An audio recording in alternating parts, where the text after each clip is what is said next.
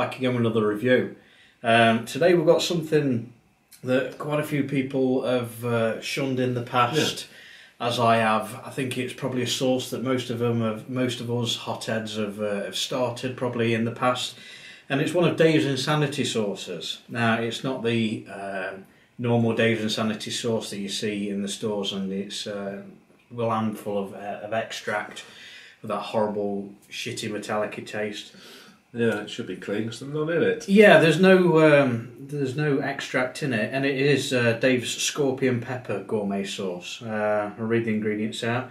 It's uh, scorpion peppers, water, salt, acetic acid, and xanthan gum. So pretty simple ingredients. Yeah, it is, isn't it? Um, yeah, but we'll we'll put all the cast all the dispersions aside of what we've thought in the past with the the extract sauce, and we'll give it a, a fair dimcum go, won't we? we will do. What does it say? What does it say about the heat level?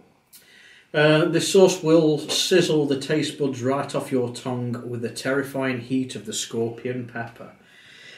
Warning: Use this product one drop at a time. Keep away from eyes, pets, and children.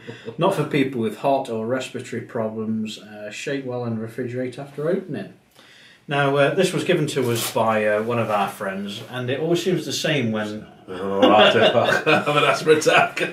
when any of our friends seem to go on holiday, they always bring us the most daftest hot sauce ever. They think because we like hot stuff, then automatically we want like um, shit in my mouth or. Satan's bollock sweat or yeah. Yeah, well, that's it, it? It's So, like, let's uh, make them suffer. Yeah, so uh, yeah, we'll give this one a try anyway. We'll see what it's like. See, I'm quite looking forward to it because it's, it's more natural than no extra. That's the bit I'm looking forward to. Yeah, our cupboard is laden with prank sauces that people have bought us off uh, off holiday that we just didn't fancy and just not got around to doing. Like No. Goth Bomb, six point four. Yeah, we'll have Million to. Yeah, to be fair, that'd be a good one for Si to do. To be fair, he's not with us today because he's uh, he's been been a bit busy. He, he runs a, an IT business and apparently been being hacked by the Chinese. Mm, But yes, this, this this happens at night though. yes, he is a busy boy, but that sort of smells straight up of uh, of super hot peppers and a little bit of vinegar. It smells a little bit like um, like a cider. Yeah, it's got that. You know what I mean? Like a like a, a cider that's been spilt on the table for a couple of weeks. Yeah, it must be the it must be the acid. Ooh.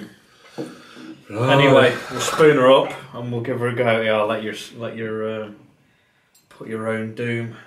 We're swallowing some on, old Rosie tonight. Mm. Well, uh, we'll go with that amount, I think. Brave boy, pal. You're a brave boy. Well, you need to match me. I may look stupid. Yeah, that, Uh, that's that's a fair enough go. That is. Uh, consistency wise, not bad pouring consistency. Yeah, it's nice and pulp, isn't it? Nice Yeah. flakes of pepper. Loads of uh, pepper in there, quite a few seeds in there too. And so notice on the back it's, it's actually made in Costa Rica. So, It just doesn't smell good, does it? it it just smells like vinegar, chilies, and pain. yeah. Right, chin chin. Down the Trying hatch. pour onto my spoon.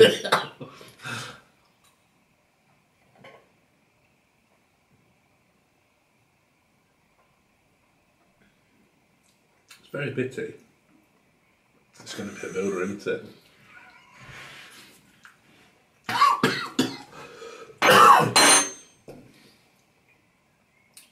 A bit of flavour, but Yeah, salt, you'd said previous, and it is quite salty.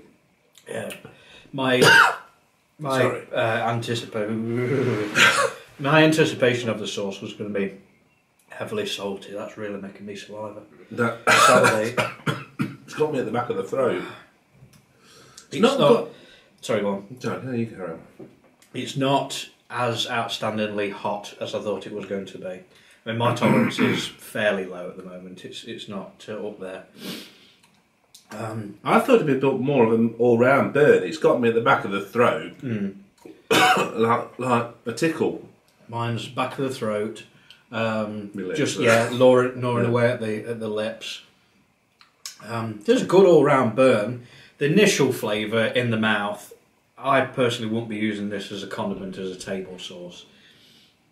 The flavour to start off with isn't very nice. It's um, yeah, it's just like like chilies that have been soaked in some old scrumpy and uh, yeah, quite an earthy taste to it. It's a bit like if somebody was trying to make a homemade Tabasco and it's gone slightly skew with. Yeah, yeah, almost like yeah, almost Rather than like fermented. Louisi- yeah, Lu- Louisiana sauce, isn't it?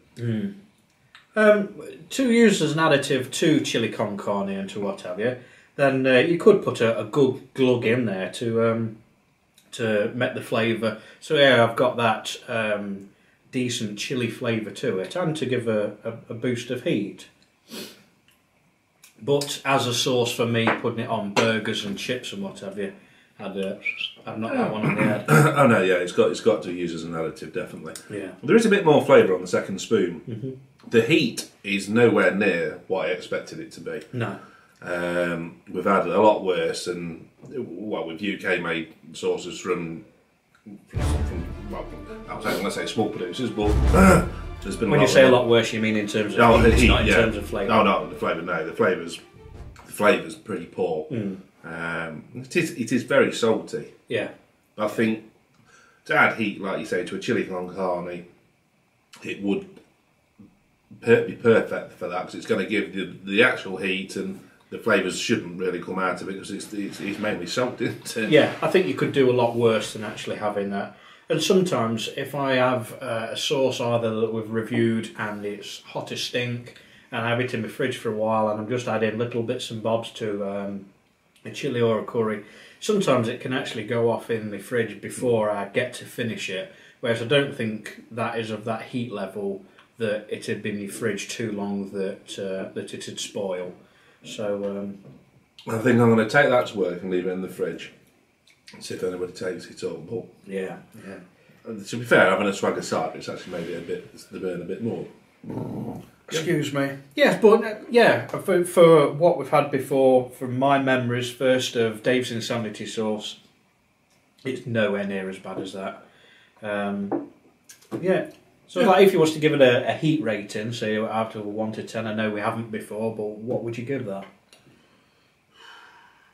Seven, seven and a half. Yeah. Yeah, I think I'd give that a seven. Yeah. From some of the sauces that we've done that have been Reaper based and uh, Yeah, Moruga based and what have you. being up near the tens, um, and like Five Finger Death Punch and stuff like that is uh, near a tens. I- I'd say yeah, a seven. the burn's lasting. It is. It is quite quite Mm. long lasting, but yeah. Flavour wise, out of ten, possibly for me, probably four, five. To be fair, I was going to give you a clue. I was going to do that five, but yeah, I'd say five. Yeah, Yeah, yeah. So there you are. Not a bad sauce. Uh, I've certainly had worse. Uh, so that's Dave's gourmet scorpion pepper hot sauce. yeah. Thanks, Louise, for bringing that back from sunny Miami. I'm sure that's readily available, as are most of Dave's Insanity Sauce, if you want to pick that up. Um, if you want to check us out, we're always posting on our Facebook page. I'll leave a link in the description. Most shenanigans that we're doing, hot sauce, reviews, this time of year, festivals galore that we're going to. So uh, check us out and uh, give the page a like. Thank you. So thanks again for watching another review. I'll be back with you again soon. Cheers. Cheers.